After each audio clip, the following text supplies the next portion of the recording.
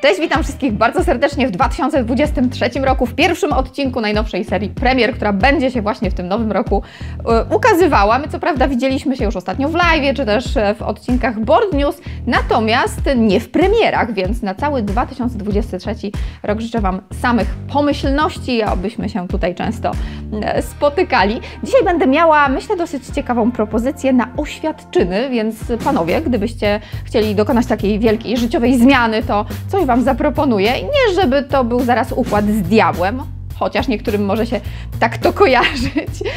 A propos układu, czy też umowy z diabłem, to w tej planszowej wersji też dzisiaj Wam na szybciutko pokażę i założę się, że będziecie chcieli zobaczyć więcej. Powracając do instytucji małżeństwa, jednym kojarzy się ona z magią, więc będzie tutaj troszkę też e, magii w karcianym wydaniu, a innym bardziej się może kojarzyć z e, ciężką wspinaczką na szczyt. Co dzisiaj jeszcze w premierach przygotowałam, sami zobaczcie. Zacznę jednak od nagrody, takiej jeszcze świątecznej, bo ta akcja świąteczna wciąż trwa, więc wyświetla się teraz nagroda na ekranie. Moi drodzy, więc jeśli jeszcze nie jesteście subskrybentami kanału OnTable, to serdecznie Was do tego zachęcam, zapraszam, klikając w czerwony przycisk możecie, możecie się nimi stać, natomiast jeśli jesteście moimi stałymi widzami, to bardzo Wam serdecznie dziękuję i zachęcam do aktywności, odzywajcie się w komentarzu. Natomiast teraz już możecie się rozsiąść wygodnie e, i zaczynamy.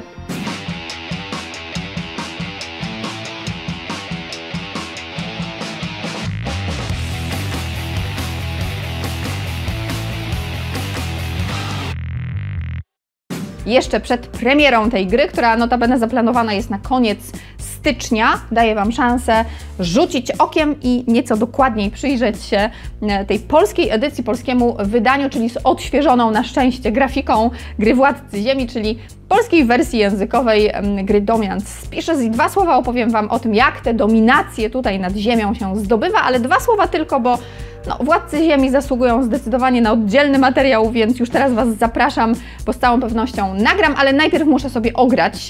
Jestem już po pierwszej rozgrywce i mam wielką chęć na kolejne, więc e, moje mamuty z pewnością wyjdą jeszcze na planszę, a może zmienię na pająki albo inne gady, czy też płazy i będę i będę starała się ową dominację tutaj zdobyć, więc tak naprawdę cała rozgrywka toczy się na całkiem sporej planszy, gdzie z jednej strony mamy spis e, wszystkich możliwości i akcji od inicjatywy począwszy po wymieranie tych naszych gatunków, e, gdzie wystawiając swoje pionki e, zabieramy miejsce na konkretne akcje i planujemy w ten sposób to, co będziemy chcieli zrobić na planszy.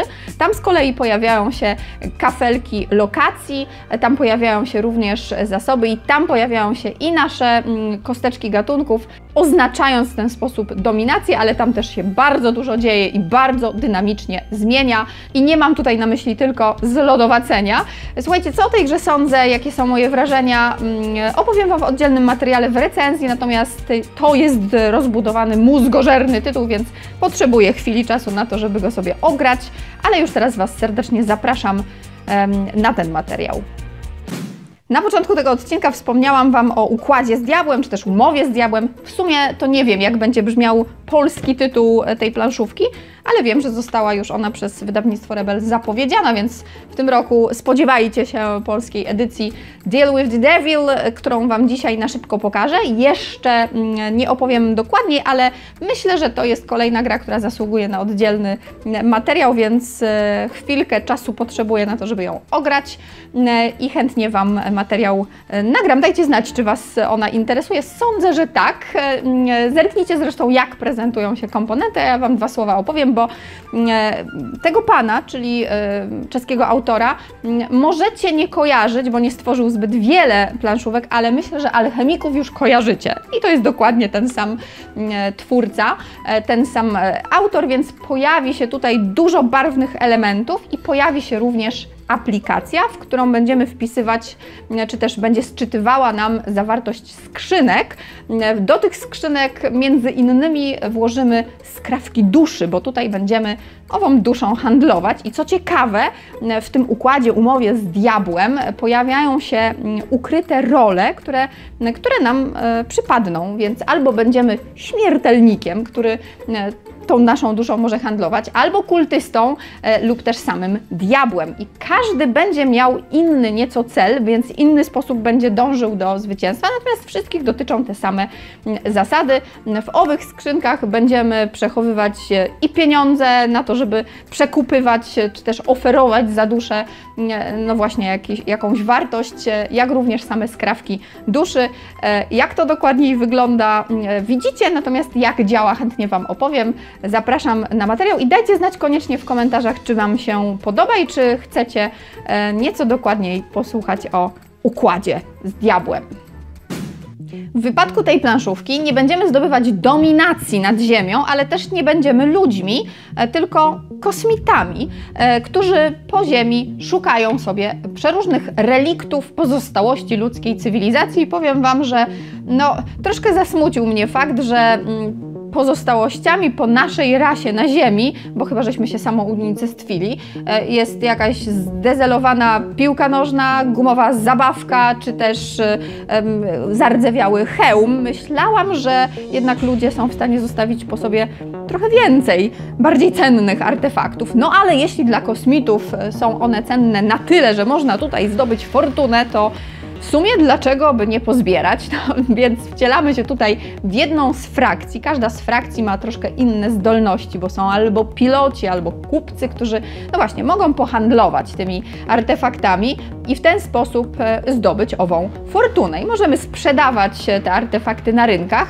co działa w dość podobny sposób jak w Zatoce Kupców, gdzie nasza klientela ustawia się tutaj w kolejce. Na tę kolejkę możemy wpłynąć, przesuwając ją, wypychając tego pierwszego klienta, natomiast będziemy patrzeć na to, w jakim kolorze jest klient, bo wtedy on będzie zainteresowany tym samym kolorem artefaktu, chyba że jest biały i jest tego, swego rodzaju jokerem, który kupi absolutnie wszystko, więc e, możemy spieniężyć czy też skredytować, bo mamy tutaj kredyty, więc otrzymamy nie pieniądze, a kredyty, ale możemy również skorzystać z czarnych rynków. I słuchajcie, jak relikty ludzkości działają nieco dokładniej, e, jak wyglądają, jak się prezentują, no od razu powiem, że dość barwnie, opowiem Wam też w krótkim, szybkim, oddzielnym materiale, a tutaj po prostu rzućcie sobie okiem, jak one wyglądają. Wspomniałam na początku, że dla niektórych małżeństwo może kojarzyć się z magią, e, więc mam taką magiczną propozycję dla dwójki graczy, czyli księgę czarów, moi drodzy. I tutaj będziemy toczyć swoisty pojedynek, trochę jak w małżeństwie, szukając pewnego rodzaju kompromisu. Nie, każdy z nas będzie chciał zdobyć jako pierwszy 13 bądź też 16, jeśli chcemy zagrać w ten wariant nieco dłuższy, punktów zwycięstwa. Każdy z graczy dysponuje swoimi kryształami, każdy będzie miał do dyspozycji trzy kostki, którymi będzie rzucał oraz karty, które na razie położy sobie, przypisując do poszczególnych kostek potajemnie, a potem je odsłonimy. No i okaże się, ile kryształów możemy położyć na karty, które czekają sobie na ryneczku. Na ostatnim miejscu znajduje się karta portalu, gdzie jeśli uda nam się zgromadzić kryształki, to będziemy mogli później przełożyć je na dowolną inną kartę, bo dzięki temu zapłacimy za takową. Karty tutaj występują w trzech rodzajach. Każda z kart ma mm, swój koszt, mm, widnieje również wartość, jaką musimy przebić, jeśli na tej karcie leżą również kryształy przeciwnika, czyli jeśli karta kosztuje 5 i ma przebicie 2, to mm, gdy znajdują się na takiej karcie kryształy moje oraz przeciwnika, to muszę ich mieć co najmniej dwa więcej, żeby taką kartę pozyskać, a wraz z kartą pozyskuję również specjalną zdolność i może być ona na stałe albo taka natychmiastowa, z której w trakcie rozgrywki korzystam. No i oczywiście karty dawają też punkty, mm, e, które jeśli uzyskamy ich odpowiednią ilość, mm, no to wygramy. To jest naprawdę bardzo proste, do tego świetnie zilustrowane, zresztą przez polskiego ilustratora Piotr Sokołowski zajął się tymi grafikami, które mnie osobiście się bardzo podobają. E, a jeśli wyszukacie prostej, szybkiej gry na czary, na magię, to koniecznie zwróćcie uwagę na Księgę Czarów u mnie księga w postaci karcianki zostaje i Wam jako nowość również polecam. Kolejna nowość dla pary, dla dwójki graczy, o której chcę Wam dzisiaj szybciutko opowiedzieć, to Nanga Parbat, czyli ośnieżone szczyty i w tych górach mm, zamieszkuje sześć rodzajów, sześć gatunków zwierząt. Zwierzęta te będziemy rozkładać sobie na planszy w sześciu sektorach. Każdy z sektorów ma sześć pól, a więc troszeczkę tej zwierzyny się tam znajdzie. No i po co ona tam? Po to, żebyśmy ją więzili. W ramach akcji gracz będzie mógł tam, gdzie znajduje się przewodnik, czyli taki żółty pioneczek, pobrać sobie zwierzątko, umieścić na swojej planszy, e, a w to miejsce położyć swojego wspinacza. Po co? Po to, żeby starać się owych wspinaczy układać sąsiedztwie, bo jeśli będziemy mieć co najmniej trzech albo więcej e, obok siebie, to możemy mm, e, zbudować obozowisko, za które pozyskamy konkretną ilość punktów. Im większe obozowisko, im więcej tych miejsc obok siebie, tym więcej punktów zwycięstwa. Same zwierzaki mm, umieszczamy na naszej planszy i każdy z nich od piżmowca przez jaka, śnieżną panterę, aż do czerwonej pandy zapewnia inną specjalną e, zdolność, więc aktywując te zwierzaki, czyli przesuwając na planszy każdego gracza, w dół będziemy mogli z różnych e, rzeczy korzystać, na przykład z zamiany mipelków z naszym przeciwnikiem, aby móc właśnie tworzyć sobie te grupy wspinaczy, i zdobywać w ten sposób punkty, więc bardzo fajny, szybki, prosty wyścig po punkty w wersji dwuosobowej. Gdyby Nanga Parbat czy też Księga Czarów Wam się spodobała, gdybyście szukali dwuosobowych propozycji, to możecie zerknąć sobie do opisu, tam zostawiam Wam e, linki do sklepu z planszówkami, gdzie oba te tytuły możecie znaleźć. No to teraz, panowie albo panie, które planują wielką życiową zmianę w 2023 roku, czyli, e, czyli osoby, które chcą się oświadczyć poza kwiatami, bo kwiaty są jednak potrzebne i oczywiście pierścionkiem zaręczynowym, mam dla Was propozycję, e, ciekawą myślę, na oświadczyny. Otóż e, w tejże łamigłówce, czyli takiej piramidce, tu już musicie mi uwierzyć na słowo, w środku jest otwór, który idealnie pasuje na to, aby włożyć tam pudełeczko pierścionkiem zaręczynowym. I tutaj e, niech się nikt nie obraża, ale to może być jednocześnie taki test na inteligencję. Na zasadzie e, oświadczamy się, bardzo proszę, jak otworzysz, jak się dostaniesz, to będzie tam w środku pierścionek zaręczynowy i wtedy będzie ślub. Gorzej jak nie. E, no ale jak ktoś z Was oglądał Glass Onion, to wiecie, że na otwieranie tego rodzaju pudełek, łamigłówek są dwa sposoby. Jeden, który Wam tutaj troszeczkę pokażę, nie zdradzając też za dużo, bo nie chcę Wam psuć po prostu zabawy. No i drugi przy użyciu młotka, ale tego nie polecam, bo to może być, tak już zupełnie serio mówiąc, naprawdę świetny pomysł na prezent. Posłuchajcie, w momencie, kiedy my już sobie poradzimy z tą łamigłówką, rozwiążemy ją, dotrzemy do środka i dowiemy się, gdzie się tutaj co przesuwa, no to tak naprawdę mm, staje się ta piramida, czy też inne kształty, które z tej serii są dostępne, mm, staje się takim eksponatem, który możemy wystawić na półkę i który nam się kurzy. Po co, jeśli możemy go komuś podarować?